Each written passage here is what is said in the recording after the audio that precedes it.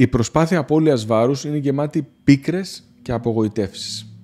Οι περισσότεροι άνθρωποι έχουν προσπαθήσει πάνω από μια φορά στη ζωή τους να χάσουν βάρος και σχεδόν όλοι έχουν βιώσει την απογοήτευση, τη στενοχώρια και την απελπισία της αποτυχίας.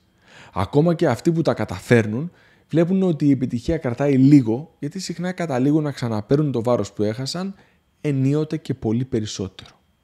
Κοιτώντας τις καμπύλες παχυσαρκίας σε όλο τον κόσμο, βλέπουμε ότι οι τιμές συστηματικά σκαρφαλώνουν όλο και περισσότερο, κάνοντας την προσπάθεια απώλειας βάρους να μοιάζει εντελώς ανούσια. Όλοι όσοι έχουν προσπαθήσει ξανά και ξανά να χάσουν βάρος δεν βλέπουν κανένα λόγο να ξαναπροσπαθήσουν. Αυτό αποτυπώνεται και στις στατιστικές.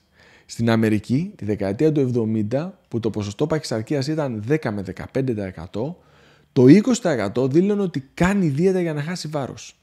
Σήμερα, που το ποσοστό αγγίζει το 40%, δηλαδή έχει τριπλασιαστεί ο αριθμός των παχυσάρκων ανθρώπων, τα άτομα που δηλώνουν ότι βρίσκονται σε δίαιτα δεν ξεπερνάει το 10% των ερωτηθέντων. Είναι λογικό κάποιος να νιώθει απόγνωση και να μην θέλει καν να προσπαθήσει να χάσει βάρος. Τα ωφέλη όμως από την απώλεια βάρους είναι τεράστια.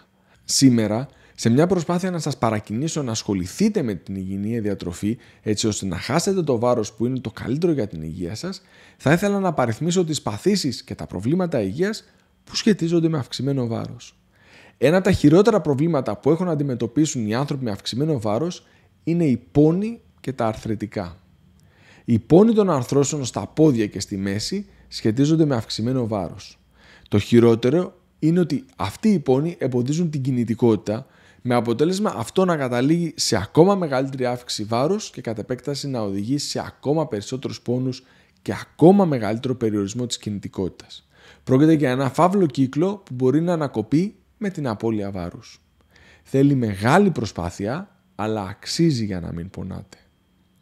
Ποιος δεν φοβάται τον καρκίνο; Το αυξημένο βάρος αυξάνει την πιθανότητα να εμφανιστούν πολλοί καρκίνοι, όπως καρκίνος του σοφάγου, του στομάχου, του εντέρου, του σηκωτιού, της χολυντόχου κίστης, του παγκρέαντος, του μαστού, του εντεμητρίου, των οθικών, των νεφρών, του εγκεφάλου, του θηροειδούς και άλλων. Χάνοντας βάρος, ο κίνδυνος εμφάνισης όλων αυτών των καρκίνων μειώνεται δραματικά. Άλλη μια σιωπηλή πάθηση με τρομερές συνέπειες για την υγεία μας είναι ο διαβήτης. Από τις μεταβολικές παθήσεις, ο διαβήτης είναι η πιο ύπουλη και η πιο συχνή. Ο διαβήτης είναι πολύ στενά συνδεδεμένος με το αυξημένο βάρος. Γι' αυτό τον συναντάμε σχετικά σπάνια σε άτομα με χαμηλό βάρος.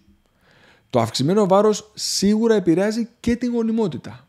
Δυστυχώς ένα μεγάλο ποσοστό των συνανθρώπων μας δυσκολεύεται να αποκτήσει παιδί ενώ θέλει. Ανάμεσα στις πολλές παθήσεις και καταστάσεις που οδηγούν σε αυτή την αδυναμία, η παχυσαρκία είναι το σημαντικότερο αίτιο. Στο γιατρείο μου παρακολουθώ αρκετά ζευγάρια που έχουν στόχο να χάσουν βάρος μετά από σύσταση του γιατρού που τους παρακολουθεί για τη γονιμότητα. Μην ξεχνάμε ότι το αυξημένο βάρος είναι και το αίτιο για πολλά γαστεντερικά προβλήματα που αντιμετωπίζει κάποιος.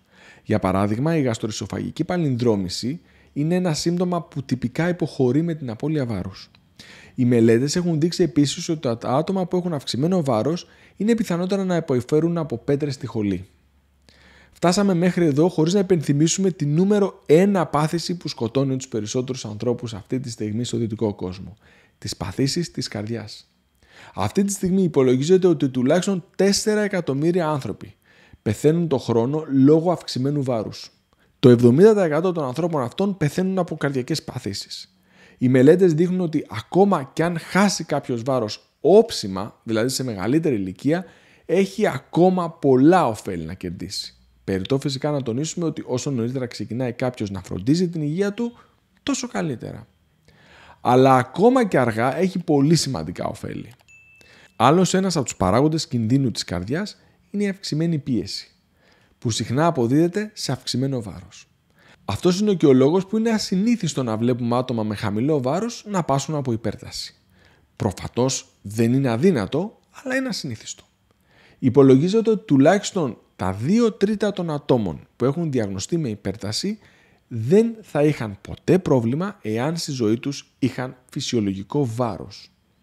Παρόλα αυτά, Χάνοντας βάρος, ακόμα και αφού έχει κάποιος διαγνωστεί με υπέρταση, θα δει πολύ σημαντική μείωση στην αρτηριακή του πίεση.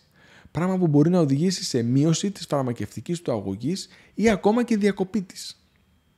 Αυτές είναι οι σημαντικότερες και πιο επικίνδυνες παθήσεις που σχετίζονται με αυξημένο βάρος.